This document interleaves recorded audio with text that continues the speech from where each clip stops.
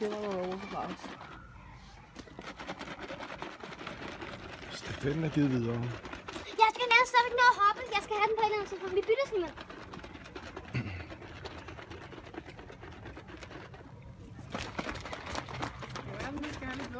Hopper skulle da bare er fandme. Så nu kigger jeg, kan du høre? Mærk. Ryste, ryste, ryste mere end løbe. Jeg kan høre på den, den er ikke så... Jeg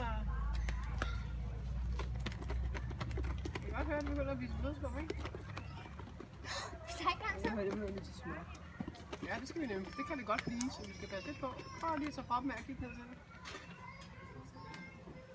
Det er godt, Simon. Er klar? Er den tyk nok?